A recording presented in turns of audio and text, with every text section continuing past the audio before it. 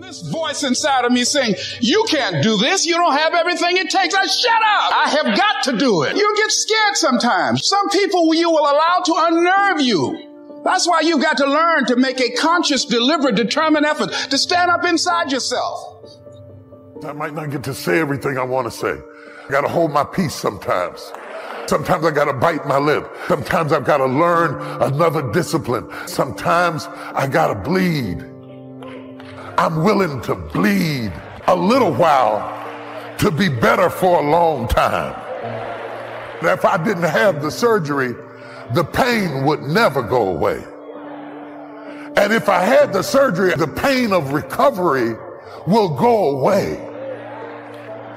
Are you willing to have a little momentary discomfort to be where you are called to be? Or are you willing to be a prisoner in your own life the rest of your life. I don't know how you feel about poverty, but that got on my nerves.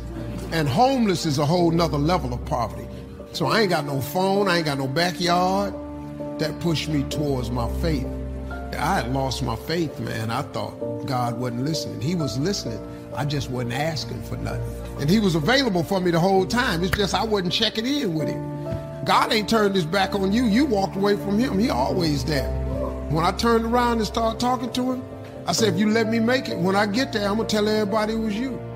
When you honor God, it stirs up the enemy. It will stir up jealousy, resentment, anger, critical spirits in people that don't honor God. It's not so much they don't like you, they don't like the blessing and favor that's on your life. The good news is they cannot stop what God has ordained. God being for you is more powerful than any force that is against you. He has you in the palm of His hand. Nothing can snatch you away. You may get thrown into a furnace, but God can make you fireproof. He controls the universe. These teenagers weren't worried. They weren't panicking. They said to the king, we know our God will deliver us, but even if He doesn't, we're still not going to bow down. When you have a made up mind like that, God, I'm believing that you're going to keep me from this trouble, that this door will open, that these people will treat me right.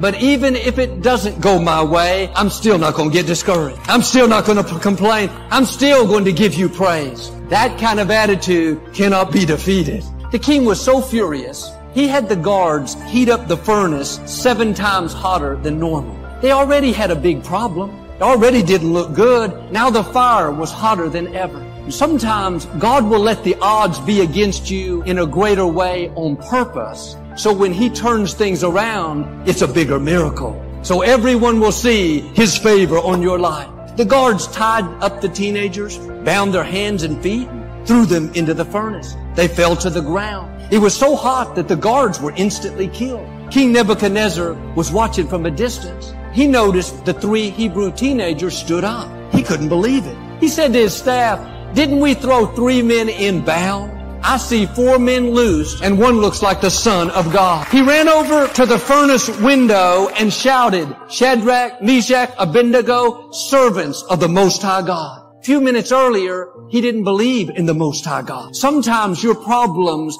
is so God can change other people's minds. God can see the big picture and He'll use you to demonstrate His power. His favor, His blessing, so others will believe. They walked out of the fire. Everyone gathered around. Verse 21 says, they noticed not a hair on their head was singed. None of their clothing was burned. They didn't even smell like smoke. God knows how to bring you out of difficulties to where you don't look like what you've been through. Nobody would ever know you've been through the trouble, through the sickness, through the breakup, through the pandemic. You're so blessed, happy, healthy, fulfilled, generous.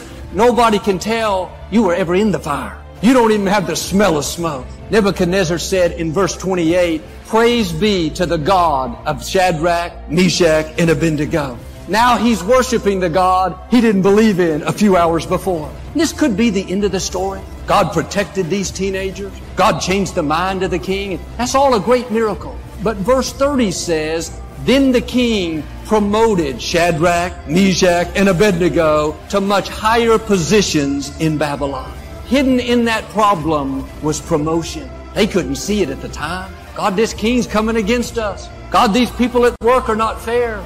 Dealing with this sickness. I had a setback in my finances. We would be grateful if God just brought us out. But what I want us to see is there is promotion attached to the problem. God is not going to just bring you out, but that difficulty is setting you up for new levels. Even with this pandemic, in a sense, we're all in a problem. There's uncertainty.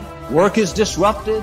People fighting illnesses. Things have slowed down. God is not going to just bring you out, but there is promotion in the pandemic. God wouldn't let the whole world be impacted just to get us back where we were. Greater things are coming. New doors are going to open. Family members that are off course are going to turn around. Areas you've struggled in year after year, there's going to be supernatural breakthrough. Chains are being loosed. Like these teenagers, the big problem means God has big favor coming. Big blessings, big influence. I keep doing the right thing.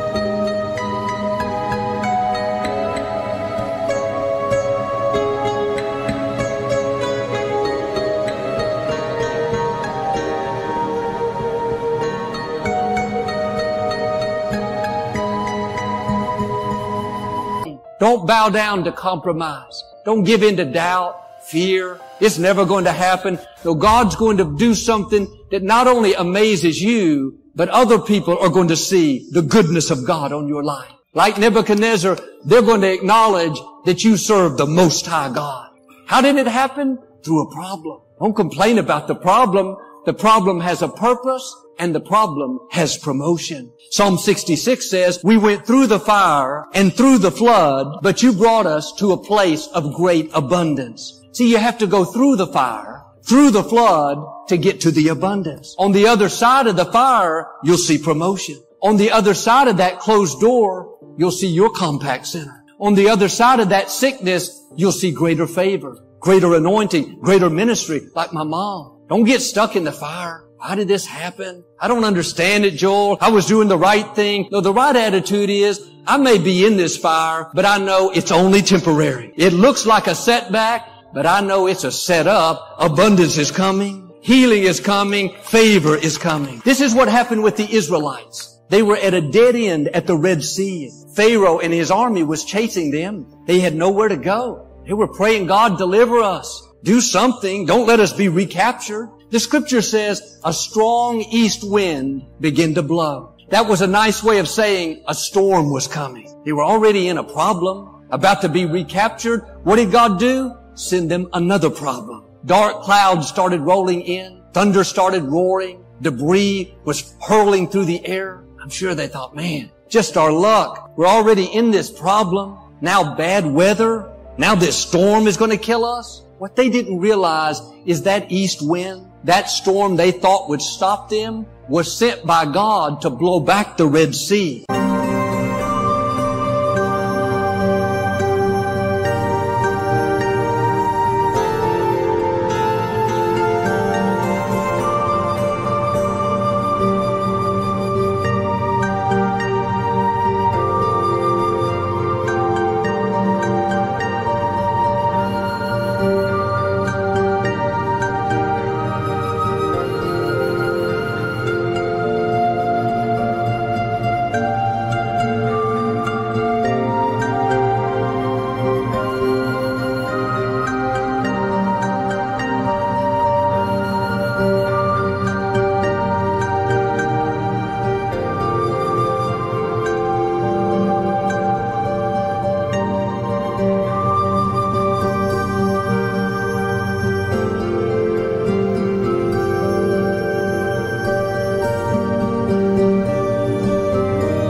To force those waters to open up so they could go through on dry ground. The storm was a part of the miracle. The storm was what not only going to bring them out, but the storm was going to defeat their enemies. God had a purpose for their problem. They couldn't see it at the time. Maybe the east wind is blowing in your life. You're asking God to help you. Seems like the problem is getting worse. You don't see how it can work out. You're tempted to live discouraged, overwhelmed.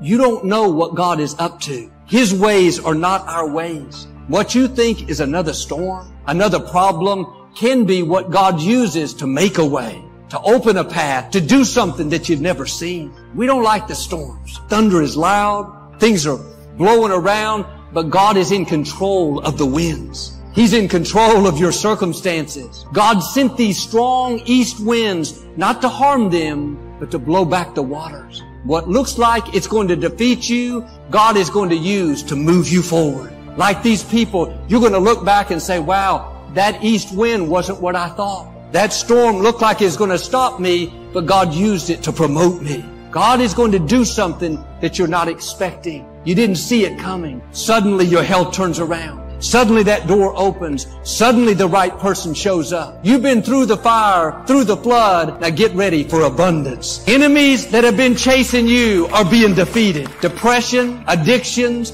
trouble at work, health issues. That storm is coming to an end. You're going to see the hand of God doing unusual, uncommon things. Because you trust Him in the trouble, I believe and declare He's about to rescue you. You're going to have favor in the fire, promotion in the pandemic, strength in the storm. When you see what God does, you will give Him great glory.